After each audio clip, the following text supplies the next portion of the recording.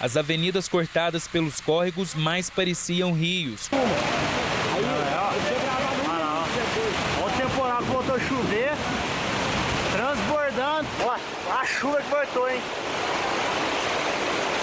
Já tá transbordando daqui a pouco, vai ficar afogar aqui daqui a pouco. Tinha um carro preto lá perto da placa de pare, ele já foi, a água já levou ele. Já levou. Tinha um, preto, tinha um preto lá, a água já, já...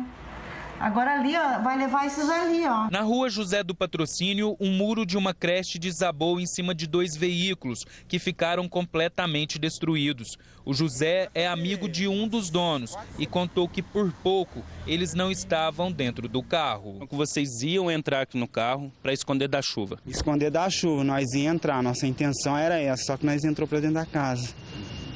Ou seja, vocês estariam aí dentro quando o muro caiu. Isso, ia estar. A quinta-feira foi de contar prejuízos, um cenário de destruição.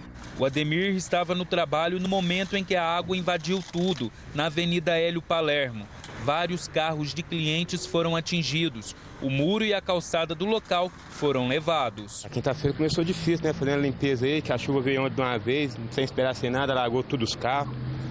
Agora tá limpando aí para organizar tudo aí para começar a trabalhar novamente, né? Senão não tem nem jeito de trabalhar. O Maxwell filmou o momento em que o carro dele é levado.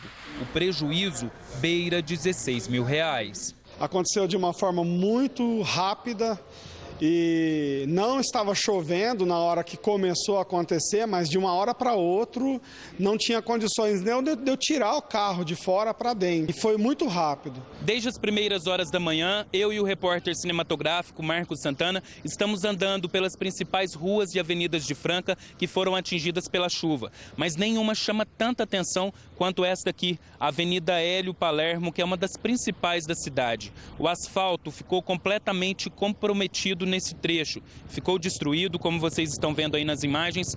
E olha aqui, mais próximo, o tamanho dessa cratera que se abriu de aproximadamente 4 metros. Uma imagem realmente impressionante. Na Avenida Hélio Palermo, este veículo é arrastado pela correnteza e por pouco não cai dentro do córrego. Tem ninguém lá dentro não, Juninho? Eu acho que tem, mano. Tem não. Mas vai para de porta, agora vai. Nossa, mano! Tem ninguém lá não. Nesta faculdade, as aulas foram suspensas no período da tarde e também da noite. Os corredores e salas de aula foram invadidos. Na biblioteca, um prejuízo histórico e incalculável. A água ultrapassou a altura das prateleiras e destruiu grande parte do acervo da instituição, que ficou assim, espalhado pelo chão em meio ao barro. O banquinho está debaixo d'água. O tá forte. Ó, charmoso. Eu só estou tomando cuidado para o senhor não cair. Segundo a polícia, três pessoas ficaram feridas. Uma mulher chegou a se afogar e está internada na Santa Casa.